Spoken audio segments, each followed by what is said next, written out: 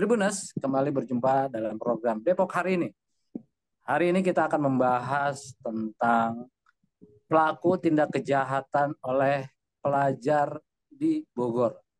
Seorang pelajar SMK di Kota Bogor bernama Arya Saputra menjadi korban kekerasan sehingga tewas mengenaskan saat menyeberang jalan uh, di daerah Pomat Kota Bogor.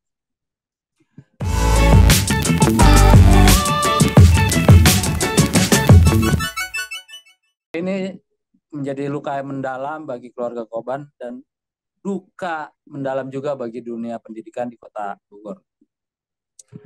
Bersama kami sudah ada reporter uh, Cahaya Nugraha yang begitu intens melakukan peliputan sehingga eh, detail-detail peristiwa bisa diungkap oleh uh, reporter kami. Bung Cahya, ini kasus yang sangat menghebohkan di Indonesia. Boleh disampaikan nggak kepada Tribunus apa sih awal mula peristiwa ini, peristiwa berdarah ini? Baik, uh, sahabat Tribuners, uh, izin menyampaikan uh, bahwa Jumat lalu, uh, tepatnya tanggal 10 bulan Maret 2023, uh, telah terjadi uh, aksi pembacokan, uh, tepatnya di lampu merah Simpang Pomat, uh, Bogor Utara, Kota Bogor, Jawa Barat. Pelaku ini uh, ada tiga orang, menggunakan sepeda motor Matic uh, berjenis uh, maksud saya bermerek PCX dengan plat nomor F5946 FV yang saat itu dikendara, dikendarai uh, oleh pelaku. Itu kejadiannya hari Jumat, uh, Polresta Bogor Kota akhirnya berhasil menangkap kedua dari uh, pelaku yang ada di motor tersebut. Ada pelaku yang berhasil diamankan yaitu uh, inisialnya MAB berstatus pelajar usianya masih 17 17 tahun. Uh, MAB inilah yang uh, me mengendarai sepeda motor PCX tersebut saat uh, hendak uh, membacok uh, area. Lalu ada SA juga jadi kalau si Esa ini uh, dia perannya dia yang duduk di tengah. Dia duduk di tengah dan pada saat kejadian Jumat itu dia juga hendak memukul uh, Arya mengenakan topi yang dia kenakan. Namun uh, aksi itu tidak tidak tidak kena seperti itu. Dan Esa ini juga yang uh, memiliki peran dia yang, yang membuang uh, senjata tajam uh, berjenis gobang yang saat itu dikenakan oleh uh, tokoh utama yang saat ini masih uh, tengah pengejaran oleh Polresta Bogor Kota. Tokoh utama ini uh, inisialnya SR. Saat ini pelaku belum berhasil uh, diamankan oleh Polresta Bogor Kota. Kendati demikian uh, disampaikan juga uh, Polresta Bogor Kota uh, akan terus mengejar pelaku ASR ini. Kemudian ada satu pelaku lagi jadi saat ini total pelaku ada empat yang tidak disebutkan namanya. Uh, pelaku inilah yang uh, menyembunyikan kedua pelaku yang berhasil diamankan oleh Polresta Bogor Kota. Uh, akan hal ini Polresta Bogor Kota uh, akan menjatuhkan uh, sanksi pidana ancaman hukuman pidananya untuk kedua orang ini yang membawa motor dan yang di tengah ini terancam uh, hukuman 15 tahun. Sementara yang uh, kor, uh, pelaku yang menyembunyikan kedua pelaku ini ini terancam pidana dengan hukuman empat tahun penjara karena telah menyembunyikan pelaku. Uh, waktu ditanyakan uh, apakah nantinya akan adanya uh, dikenakan pidana anak atau seperti apa? Kemarin disampaikan oleh Kapolresta Bogor Kota Kapolresta Kapolresta Bogor Kota Kombes Pol Bismo Teguh Prakoso menyampaikan bahwa untuk saat ini eh, sangkaan pelaku ketiga pelaku yang berhasil diamankan saat ini itu akan dikenakan pasal dewasa. Seperti itu yang bisa saya, saya sampaikan kemudian eh, untuk awal mulanya awal mula terjadinya pembacokan ini diketahui bermula dari uh, eh, DM Instagram. Jadi sekolah korban yang inisialnya A juga itu uh, menantang sekolah pelaku untuk uh, melakukan duel. Kendati demikian, ternyata si pelaku ini langsung uh, memburu uh, si yang nantangin, tapi ternyata tidak ditemukan. Akhirnya pelaku ini membacok korbannya secara acak dengan mencirikan uh, seragam yang dikenakan oleh uh, sekolah tersebut. Seperti itu yang bisa saya, saya sampaikan, sahabat Tribuners. Oke, Bung Cahaya, mungkin bisa disampaikan pada Tribuners siapa yang melakukan DM itu mungkin? Oke, uh, untuk yang melakukan DM tantangan tersebut itu uh, inisialnya A juga dan saat ini juga uh, dikejar uh, oleh uh, Polresta Bogor Kota untuk uh, menca mencari tahu detail seperti apa tantangan yang diberikan kepada uh, sekolah korban, sekolah pelaku maksud saya seperti itu. Berarti si A ini tidak satu sekolah dengan korban ya? satu sekolah dengan korban, satu sekolah dengan korban. Oh, karena itulah mereka mencari uh, seragam yang mencirikan uh, seragam sekolah korban ya? Iya seperti itu. Uh, dan pada saat kejadian juga uh, si Arya ini bersama dengan keempat temannya saat itu uh, dia sedang uh, berjalan pulang itu. Jadi dia ini Arya ini kena ujian susulan jadi waktu menghadapi PTS seperti itu uh, ada beberapa mata pelajaran yang memang tidak dihadiri oleh uh, Arya karena waktu itu dia sempat sakit seperti itu. Kemudian pada saat kejadian itulah eh, PTS susulan tengah berlangsung. Jadi si Arya ini hanya ingin pulang ke rumahnya.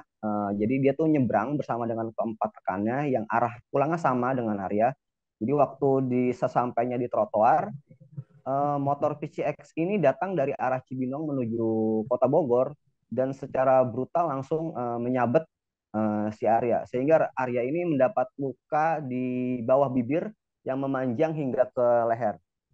Namun naas uh, Arya harus menghembuskan nafas terakhirnya usai berjuang melawan luka tersebut di tengah perjalanan uh, menuju rumah sakit seperti itu. Berarti Arya sudah menyeberang ya, sudah di sebelah kanan motor ya? Belum. Dia masih di dia masih posisinya dia masih di trotoar itu, dia masih di trotoar. Jadi dia ini mau nyebrang nunggu nunggu lampu merah dulu. Saat itu kan masih hijau. Jadi dia di situ mm -hmm. nunggu untuk lampu merah. Terus tiba-tiba motor ini langsung menyabet area dan kondisinya lalu lintas saat itu juga masih hijau. Jadi area dengan gontai itu jalan ke seberang, tepatnya itu di Gang Jalan Mandala 2. Tepat di Gapura itu tubuh area terjatuh dan tanpa sengaja juga tiba-tiba uh, ada mobil ambulans yang lewat. Jadi mobil ambulans itu yang dikena uh, yang dipergunakanlah untuk uh, membawa tubuh Arya ke rumah sakit seperti Oke. itu. Berarti posisinya itu Arya belum menyeberang jalan ya, masih belum, berdiri belum. di trotoar. Betul, betul. Waduh, ini luar biasa ini kejahatannya nih. Jadi mereka sudah menyasar. Bung Cahya, anda bisa menggambarkan nggak uh, profil para pelaku pembacokan ini? Oke, okay. uh, eh, kalau untuk kedua pelaku yang berhasil diamankan itu uh, yang tengah itu yang bawa motor itu uh, sudah dewasa itu, itu umurnya 18 18 tahun karena saat uh, dilakukan uh, konversi pers di Mako Polresta Bogor Kota pelaku secara resmi sudah mengenakan uh, baju tahanan. Sementara yang di tengah itu yang yang berupaya memukul Arya dengan topinya itu dia masih di bawah umur dan untuk uh, eh, ASR ini untuk pelaku utama saat kejadian uh, baru bisa dicirikan dia menggunakan topi berwarna kuning pada saat kejadian. Dan kemarin disampaikan juga bahwa Polresta Bogor Kota juga akan mengejar uh, eh, ASR ini sampai ke tongkrongan-tongkrongannya seperti itu. Karena memang diakui tongkrongannya ASR ini cukup banyak. Oke, berarti uh, sudah direncanakan untuk uh, menghabisi uh, korban gitu ya, walaupun tidak secara uh, detail ya. Iya, iya betul. Nah, uh, apakah pelaku ini yang sudah diamankan oleh Polres Bogor Kota emang tukang berantem ya di sekolahnya? Uh, untuk hal seperti itu uh, belum ada konfirmasi lebih lanjut, cuma uh, hanya saja uh, kedua sekolah pelaku dan korban ini memang di memang musuh bebuyutan seperti itu. Oh, jadi kalau ini... untuk pelaku kalau untuk pelakunya sendiri uh, yang berhasil diamankan itu belum bisa terkonfirm apa memang rutin ikut tawuran atau seperti apa. Hanya saja yang, yang bisa dipastikan saat ini memang kedua sekolah ini memang bebuyutan Oke, berarti belum diketahui apakah memang eh, pelaku yang berhasil diamankan ini adalah kepala dari atau mungkin pentolan dari sekolah itu. Belum bisa dipastikan belum. ya? Belum. Oke. Apakah pelaku ini memang apa namanya pendiam kah atau memang eh, eh, emosi ketika Anda bertemu dengan para pelaku ini? Oke, kemarin uh, saat dipaparkan oleh Kapolresta Bogor Kota, uh, memang uh, untuk usia-usia uh, SMA ini karena memang ini masih umurnya sekitar uh, 16 dan 17 tahun ini memang uh, masih rentan uh, emosi. Sehingga uh, saat ini pun untuk uh, upacara untuk upacara bendera di SMA baik negeri maupun swasta yang ada di Kota Bogor saat ini langsung dipimpin oleh uh, kepolisian baik itu TNI, Polri dan juga uh, dari jajaran Pemkot seperti itu. Oke. Bung apakah yang membawa motor ini yang berusia 18 tahun itu alumni? Masih pelajar. Masih pelajar ya? Dan berbicara masalah uh, terkait alumni juga Polresta Bogor Kota juga uh, mengejar uh, beberapa alumni yang dikhawatirkan juga uh, ikut andil dalam uh, peristiwa ini seperti itu. Berarti kalau ada alumni berarti uh, secara logika ada yang di belakang para pelaku ini? Atau memang dia hanya sendirian? Untuk kemarin uh, disampaikan uh, saat gelaran rilis kejadian ini, untuk saat ini memang uh, yang terlibat ini semuanya uh, masih satu sekolahan yang sama, belum terlibatnya uh, ada alumni, tapi mungkin uh, kemarin disampaikan juga akan diperiksa juga terkait dengan alumni-alumni di sekolah mereka mengenyam pendidikan seperti itu pertanyaan saya mungkin eh, ketika motor metik putih ini berjalan, apakah di belakangnya ada yang mengikuti temannya? Atau ada temannya menjaga lagi di, di wilayah yang lain? Uh, untuk berdasarkan CCTV yang kemarin saya lihat, ini pelaku uh, pure menggunakan uh, satu motor ini uh, berbonceng tiga. Tidak, jadi tidak ada yang berjaga di depan maupun yang di belakang seperti itu. Oke. Bung Cahaya, mungkin ada keterangan di manakah para pelajar itu mendapatkan gobang atau pedang? Untuk sejauh ini uh, belum bisa dikonfirmasi. Apakah mereka pesan secara online atau pesan uh, di tempat-tempat tertentu? Uh, untuk perihal Gobang ini uh, belum dapat informasi uh, lebih lanjut. Uh, hanya saja yang memiliki Gobang ini ialah yang uh, punya sepeda motor uh, PCX itu. Oh. Seperti itu. Jadi dia sudah membawa dari dari mungkin dari tempat yang lain bukan tidak ditaruh di rumahnya. Iya. Dan diberikan kepada yang eksekutor gitu ya. Iya. Oke, Bung Cahaya, mungkin eh, hingga saat ini eksekutornya masih dikejar oleh Polresta Bogor Kota. Kemungkinan eh, ada informasi lebih lanjut nggak bahwa korban pelaku utama ini eh, sudah apa namanya sudah sering tawuran juga atau memang dia eh, diikutkan atau diancam untuk ikut atau bagaimana? Oke. Uh, untuk pelaku ini juga kemarin disampaikan oleh Kapolresta Kombes Bismo. Uh, untuk pelaku utama ini si ASR ini merupakan residivis uh, penjamretan di wilayah Kabupaten Bogor seperti itu. Oh, residivis ya? Kalau untuk uh, sering ikut tidaknya tawuran itu uh, saya saya pun kurang tahu dan itu juga belum terkonfirm dari Polresta. Hanya saja uh, tokoh utama ini dalang dibalik uh, pembacokan Arya ini merupakan seorang residivis uh, kasus penjambretan. Tapi berstatus pelajar. Berstatus pelajar. Wow.